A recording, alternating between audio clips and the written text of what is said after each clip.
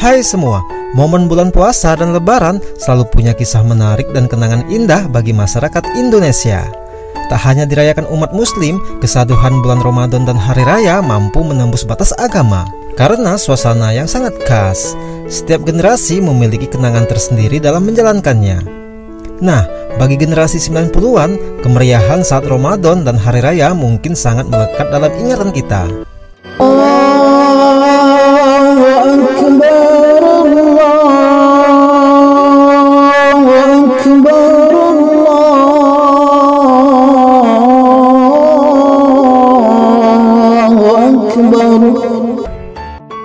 Setelah pulang dari sholat idul fitri, hal pertama yang dilakukan adalah bersalam-salaman.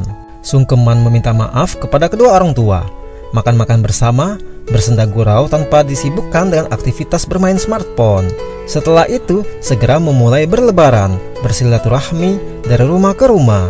Semua rumah tetangga akan didatangi, tidak ada yang terlewatkan. Jangan lupa pakai baju baru yang banyak kantongnya dong. Karena mindset anak zaman itu, baju baru dengan banyak saku itu penting karena untuk menyimpan angpau atau kue lebaran yang didapat saat berkunjung nanti.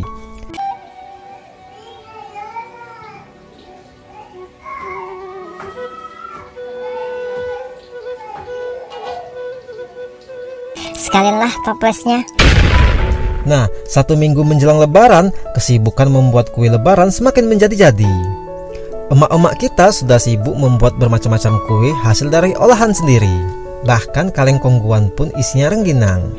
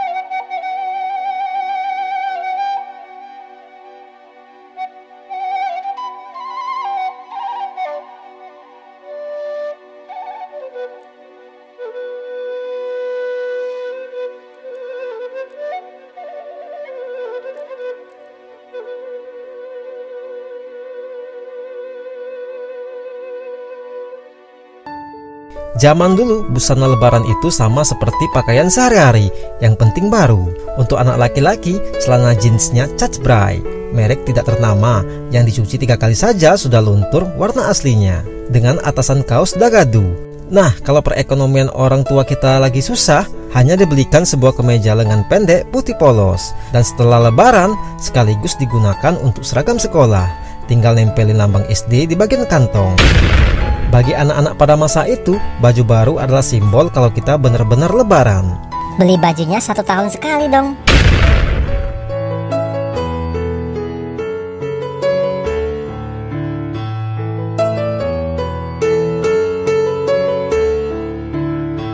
Zaman dulu, lebaran kedua dan ketiga masih sama ramainya karena sistem berlebarannya mengunjungi semua rumah satu persatu.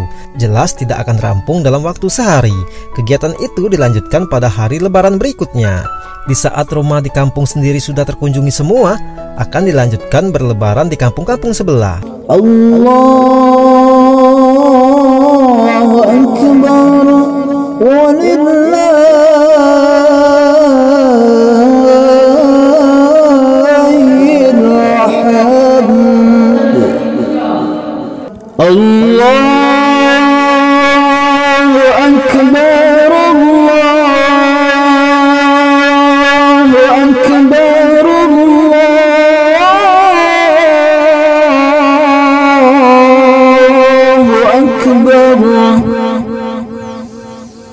لا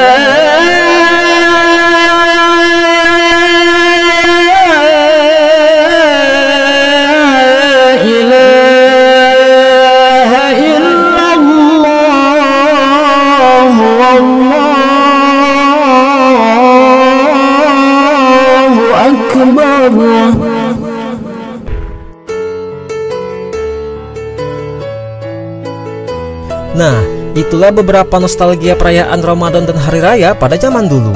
Bagaimana menurut kalian guys? Ingin mengulang ke masa-masa dulu yang lebih sederhana namun menyenangkan.